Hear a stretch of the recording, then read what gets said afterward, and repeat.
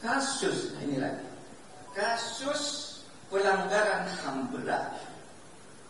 Menurut undang-undang itu hanya ditetapkan oleh Komnas HAM. Jangan sembarang orang bukan Komnas HAM gak menuntut ke polisi. Pak itu pelanggaran HAM berat. Bukan kalau Komnas HAM gak bilang begitu tuh bukan meskipun itu mungkin kejahatan berat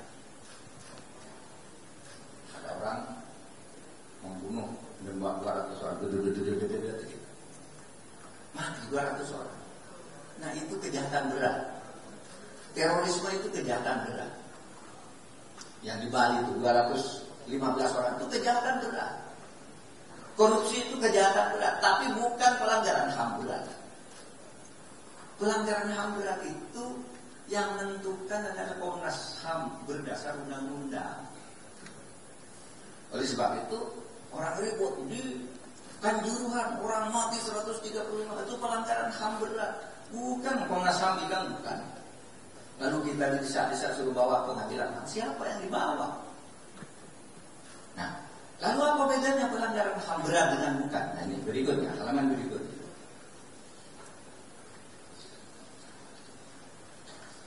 Mengapa kita dulu dari? Mengapa pemerintah itu membentuk tim penyelesaian non yudisial pelanggaran HAM berat masalah. Karena karena amanat TAP MPR dan undang-undang untuk melaksanakan KKR itu sulit diwujudkan. Nah kita mulai. Berikutnya halaman 20 kita lihat halaman 20 nah PP HAM ini penyelesaian HAM judisial ini.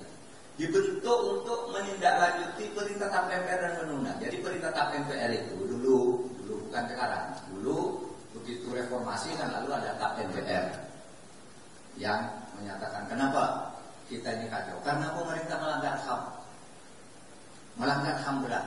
Lalu dibuat TAP MPR. Itu selesaikan. Diadili pemerintah. Itu diadili siapa yang melakukan pelanggaran HAM berat itu? Maka saudara di situlah kemudian kita diarahkan oleh TAP MPR dan undang-undang itu untuk menyelesaikan pelanggaran HAM berat. Satu melalui pengadilan itu yudisial yang kedua melalui KKR, Komisi Kebenaran dan Rekonsiliasi. Melalui judisial maupun melalui KKR ini sampai sekarang, sampai hari ini nih, tidak bisa dilaksanakan.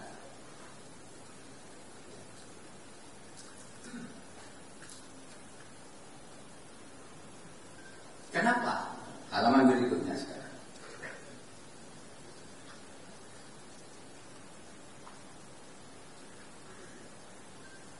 Gini, saudara. Komnas HAM itu menyelidiki pelanggaran HAM itu banyak sekali. Termasuk peristiwa tahun 65 itu ditulis sebagai pelanggaran HAM berat. Karena di situ diberitakan ada 9 ribu orang meninggal, 1 ribu orang dibantal. Itu pelanggaran HAM berat. Kita tidak bisa nolak untuk mengatakan Pak itu bukan, ya itu Komnas HAM yang memutuskan. Undang-undang menyatakan itu Komnas HAM. Sekarang laksanakan perintahnya Pak, bawa ke pengadilan. Sesudah dibawa ke pengadilan, tidak ada satupun yang dihukum karena pelanggaran. Karena buktinya tidak ada.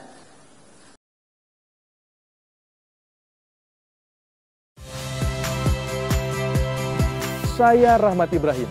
Saksikan program-program Kompas TV melalui siaran digital, pay TV, dan media streaming lainnya. Kompas TV, independen, terpercaya.